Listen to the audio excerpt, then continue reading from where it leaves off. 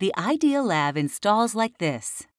Apply a continuous bead of silicone to the underside of the lav drain flange. Then, insert the one-piece tube into the sink drain hole, with the pivot ball socket opening facing the wall. Next, insert the internal stopper with the top recessed lines pointing towards the wall and aligned with the pivot ball socket. Orienting the stopper this way makes installation of the rod assembly much simpler.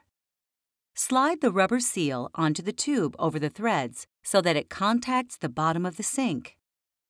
Then, slide on the slip washer and thread it on the nut by hand tightening it. Tighten with a wrench, making sure not to over-tighten. Install the rod assembly and wing nut by hand tightening them. Test to confirm the internal stopper moves with the rod. Insert the lift knob behind the faucet spout and then connect the clevis and clip. Confirm that the lift rod operates the stopper correctly. Finally, insert the removable and replaceable grid strainer into the top of the Ideal Lav lavatory drain tube with flange. Visit fixmydrain.com to purchase your Ideal Lav lavatory drain.